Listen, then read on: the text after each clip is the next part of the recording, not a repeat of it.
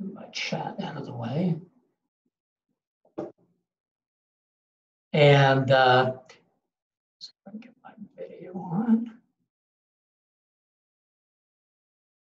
And uh, certainly want to welcome everybody uh, to the uh, to the session. Sorry, we had a few uh, technical difficulties here, uh, new platform, so we'll we'll get these uh, sorted out. Um, want to welcome any new participants to the happy hour, and certainly want to welcome back any of our um, attendees who are back for another time.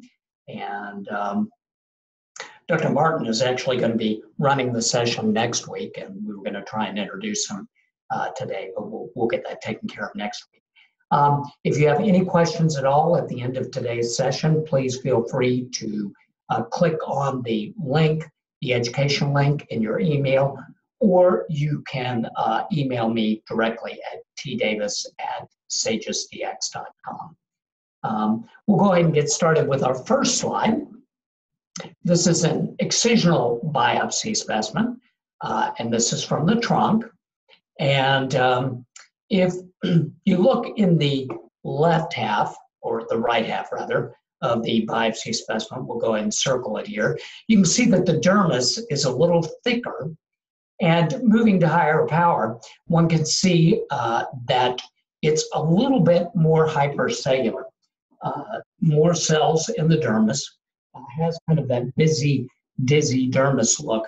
Um, and when you see that type of pattern on scan, you know, you need to be thinking about things like uh, dermatofibroma, uh, blue nevus, granuloma annulare, uh, scleral KS, things that produce kind of a hypercellular dermis. Uh, you can also note at uh, scanning magnification that there are lymphoid aggregates present uh, within the dermis. And if we move to, uh, to higher power and see what the nature of the cellular infiltrate is, a little pixelation here, we'll give it a minute to, to kind of catch up.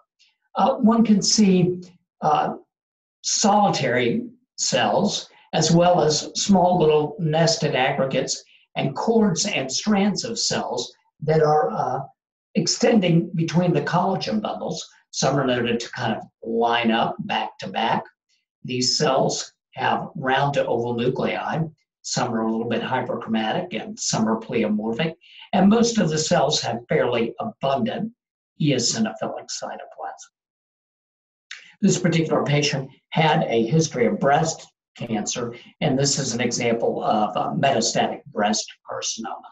Uh, does produce uh, in one of its patterns a uh, kind of busy dermis with uh, cells that tend to line up and extend between collagen bundles. These cells, of course, would be positive for cytokeratin uh, as well as EMA, cytokeratin 7, and possibly ER or PR, depending upon the uh, hormonal status of the original tumor. So this is an example of metastatic breast carcinoma. Definitely want to keep it in the uh, differential of a dermis. Uh, moving on to slide two. Slide two is uh, a punch biopsy. This is from the trunk. Uh, we have a bubble here uh, on the slide. Sorry about that. Uh, and again, Within the dermis, uh, one can see an increased number of cells. So we've kind of got that same differential, kind of hypercellular dermis. If you look at the uh, right half of the, the uh, field in this specimen, you can see uh, some zones that are a little less cellular than others. Of note here, the epidermis is papillated and hyperplastic and there are uh, enlarged sebaceous glands right near the surface of the specimen. Almost looks like sebaceous hyperplasia. If we move to higher power, uh, we can see that within the dermis, there are these short fascicles, a fairly uniform, spindled cells. Uh, they kind of produce a storiform or mat-like pattern. Uh, little nuclear pleomorphism, but certainly no mitotic figures. And at the periphery of the lesion, there's clearly uh, evidence here of collagen trapping. Uh, there is some uh, there are a few larger nodular aggregates of the periphery of the lesion, and uh, you know maybe a slight increase in the amount of melanin pigment within the basal layer. This is a, of course, a dermatofibroma, and um, dermatofibromas frequently do induce uh, epidermal hyperplasia or follicular induction. And sometimes the uh, presence of large sebaceous glands just beneath a hyperplastic epidermis can be a clue to the uh, diagnosis of an underlying uh, dermatofibroma. Um, sometimes I've, I've, found that uh, uh, residents who are first starting out will confuse dermatofibromas with neurofibromas. They're both composed of spindle cells, but dermatofibromas are kind of bullies and they tend to displace the adnexae, uh, pushing them uh, either up or over to the to the uh, sides of the specimen, as you can see here. Whereas neurofibromas tend to course around the adnexae and are a little bit more delicate. We'll go ahead and move on to slide three. This is a uh, punch biopsy uh, from distal extremity. Note the absence of solar elastosis, which should uh, make you think of uh, specifically lower extremity. And uh, there are a few thick walled vessels here in the papillary dermis, confirming that this is indeed from the uh, lower extremity. And what we have here, of course, is a, a panniculitis. Uh, the action is involving that compartment of the skin, the subcutaneous tissue. And as I'm sure most of you are aware, when we approach panniculitis, uh, we need to determine first and foremost where the center of gravity is. That is, are we dealing predominantly with a septal panniculitis or a lobular panniculitis? Realizing, of course, there is some, some overlap. I mean, a septal panniculitis is always going to, to have some spillover into the bat lobules, as we can see here. And right away, I mean, it, it's pretty obvious that the, the fibrous septi are uh, thickened and somewhat fibrotic. There is a little spillover into the fat lobules, but most of the changes here are centered on the fibrous. If we move to higher power, we can see, uh, again, broad zones of fibrosis uh, within the subcutaneous tissue. There are, uh, out at the uh, periphery of the affected lobules, a few multinucleated epithelioid histiocytes. And um, even closer to the fat lobule, one can see an infiltrate of lymphocytes and even a few scattered eosinophils and neutrophils. And this layered or sandwich-like pattern with central zone of fibrosis, granulomatous inflammation out of the uh, periphery of the lesion, and um, acute inflammatory cells uh, present uh, close to the lobule is uh, diagnostic of, um, of uh, erythema nodosum excuse me here, I'm going to go ahead and close out my email account or my um, emails here. It has tendency to kind of slow down the path presenter. Okay, so this is an example of erythema nodosum. It's a granulomatous septal panniculitis, and is kind of our prototype for a uh, septal panniculitis. Slide four is a uh, punch biopsy. Uh, this is actually from um, proximal extremity. Um, and what uh, one notices at first blush is there's not much of an inflammatory infiltrate within the dermis. If we uh, kind of hone in on the uh, epidermis, especially I think in this bottom piece, uh, we can see that the cornified layer is a little thickened by compact orthokeratosis. And notice the epidermis. The dermal papillae here are widened, and uh, that can be a useful clue to this condition. And if we look in the widened papillae, we can see a deposition of kind of a pinkish blue fissured material uh, associated with a few scattered melanophages. And uh, this material, of course, is amyloid, keratin derived amyloid. And this is uh, an early lesion of lichen amyloidosis. And uh, we have widening of the dermal papillae, and rotate this, and overlying lichen simplex. So this is an example of uh, macular amyloidosis. Uh, moving on to slide five. Uh, and uh, I will go ahead and um, give me a second. I'll go ahead and flip the, um, slide. And um, what we can see in this particular fragmented biopsy specimen uh, is uh, an intraepidermal vesicle. And we've talked about intraepidermal vesicles uh, in several of the previous happy hours. And again, one of the key things with an intraepidermal vesicle is to figure out what mechanism caused the vesicle. Here, uh, continuing with our theme of the last few weeks, there is a focus of suprabasilar acantholysis. Now note here, unlike the example of Hailey-Hailey that we saw, if you look at the particular area that I'm circling, the overlying epidermis is intact. And there's not much dyskeratosis.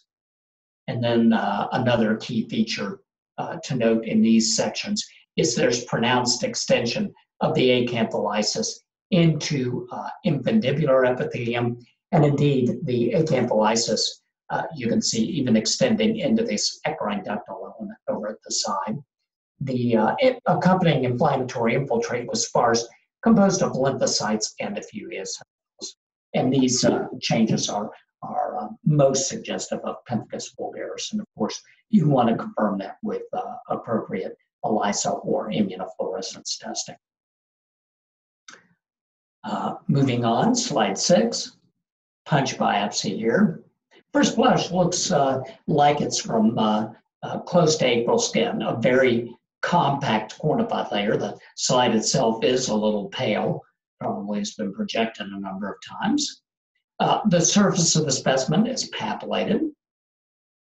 There's uh, hypergranulosis and the papillary dermis is kind of thickened by coarse collagen in vertical streaks, uh, all associated with not much of an inflammatory infiltrate. There's only a very sparse superficial perivascular infiltrate here. And uh, these findings are diagnostic of, of lichen simplex chronicus.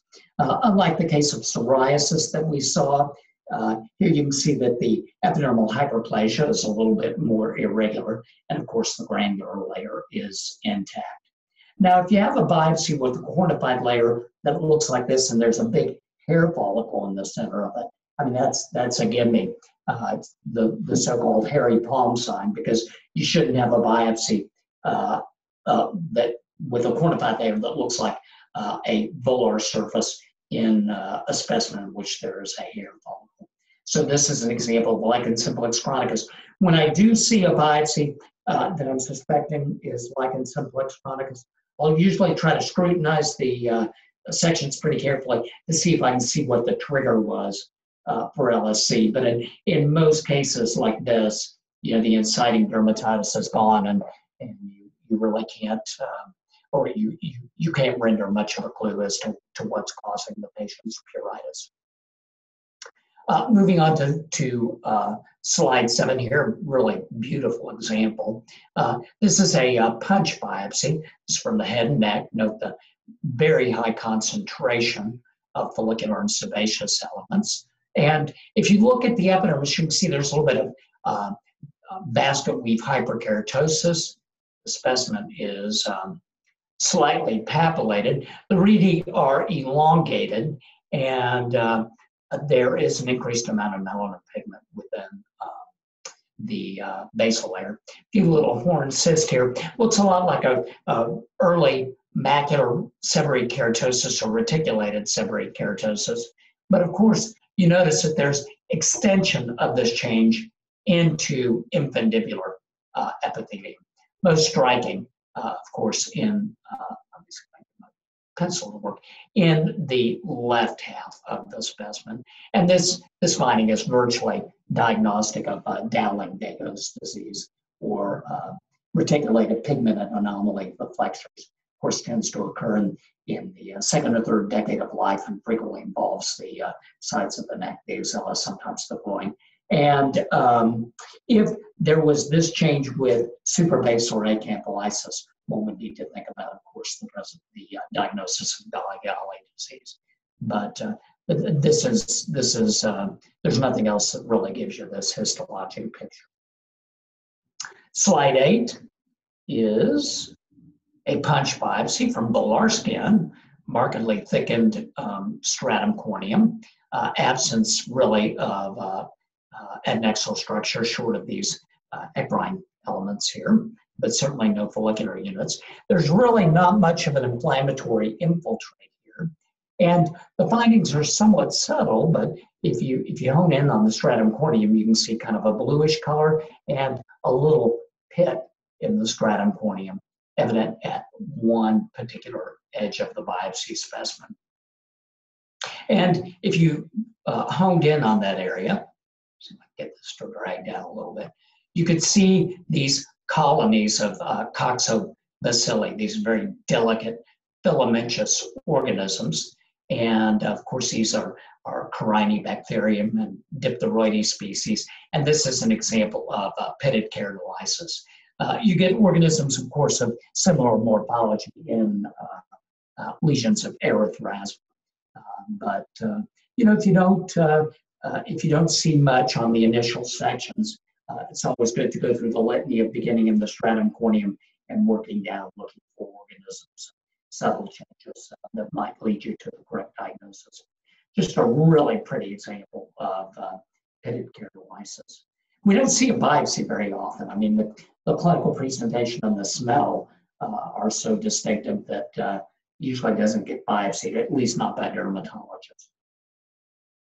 Slide nine, uh, we're uh, in a different box here. We've got a uh, fairly circumscribed nodule here. Looks like it's shelled out, so, you know, uh, hard to say where it was from. most tumors that shell out like this are fairly deep, so I suspect this was probably deep dermis subcutaneous tissue. Um, as we move to higher power, we can see the stroma is kind of pink and a little bit chondroid or myxoid. And um, one can see very elongated uh, branching tubules and ducts containing this inspissated material. Um, most of the uh, ducts are lined by kind of flattened cuboidal epithelium. Uh, there are a few little horn cysts here. And uh, again, this stroma uh, that's uh, very chondroid and myxoid in areas. And this, of course, is a, uh, a mixed tumor of skin or chondroid syringoma. Um, there are, are kind of two histologic variants of a mixed tumor of skin. There's one with elongated branching tubules that most people believe is, is uh, in nature. And then there's one with small ductal lumina that, that may be more eccrine or ductal in nature as opposed to, to tubular. Uh, in nature. The one thing to keep in mind with uh, with these mixed tumors is that they uh, are histologically indistinguishable from pleomorphic adenomas that occur in the salivary gland. So if you get the diagnosis of a mixed tumor back from a from a path lab, and you you biopsy uh, the uh, area uh, preauricular in front of the parotid. You know, you may want to uh, to have the patient seen by ENT or do imaging studies just to make sure that you haven't sampled a pleomorphic adenoma of the parotid gland rather than a uh, mixed tumor of skin. Slide 10 so again, a little bit of a pale slide. This is a punch biopsy from the trunk. And uh, one can see a sparse superficial uh, perivascular infiltrate, little extension of the infiltrate around vessels in the mid-reticular dermis. As we move to higher power, it becomes pretty obvious that the dermal epidermal junction is not real crisp. Uh, we've got a basket we've cornified layer, but the epidermis is kind of thinned with uh, effacement of the rete ridge pattern. And uh, there clearly is uh, vacuolar change evident along the dermal epidermal junction. The underlying dermis contains an infiltrate of lymphocytes. are scattered melanophages. There were extravasated erythrocytes uh, in these sections, and there were some eosinophils uh, present in areas. Uh, and if you look at the dermis, you know, there's some elastosis to be sure. But there's also a subtle increase in the amount of dermal mucin. And again, this infiltrate of lymphocytes around vessels of the superficial vascular plexus. And, and when you see this type of change, you know, interface macular type, lymphocytes and eosinophils, you know, you, you, you want to think about drug eruption. Uh, you could also think about the possibility of a connective tissue disease, although the presence of eosinophils would be somewhat unusual uh, in a connective tissue disease. As it turns out, this biopsy was from a patient with drug-induced subacute cutaneous uh, lupus. The patient had photosensitivity and an annular polycyclic eruption, had Ro SSA positivity, and uh, the trigger in this particular patient was uh, terbinafine, which has been reported to uh, trigger SCLE in certain patients. And again, PPIs have also been reported. Uh, the, the list of medications that can trigger SCLE continues to, uh, to grow. Um, histologically, and I think we've made this point before, dermatomyositis and SCLE can be virtually impossible uh, to distinguish one from another. Uh, so the, the, the distinction between the two is often made uh, clinically and serologically, and I you know wouldn't worry about discriminating uh, those two particular questions or conditions on an exam. If somebody asked you to, that that would be a very poor question. Uh, let's go ahead and move on to slide 11, kind of a cool case. Um, here we've got a, a uh, shave biopsy.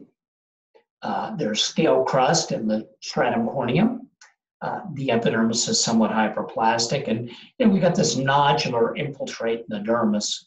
And I think even at scanning magnification, you can see there are lymphocytes to be sure, but there are large epithelioid cells here, some multinucleated. So, you know, getting the, the idea that this may be granulomatous. And uh, the epidermis is somewhat hyperplastic. And anytime I see granulomatous inflammation with a hyperplastic epidermis, you know, begin to think about uh, infectious processes. And if we go in and uh, look in the foci granulomatous inflammation, and specifically in the um, cytoplasm of uh, some of these histiocytes, we begin to see these kind of uh, clear to slightly blue-gray morula-like structures that, that really do resemble uh, soccer balls. I think they're even better seen up here. And this, this histologic appearance, of course, is, is very characteristic for protothecosis. Uh, protothecosis is an achloric algae, can be found in, found in tree slime. Uh, and there really is nothing that gives you um, uh, an appearance like this, uh, short of protothecosis.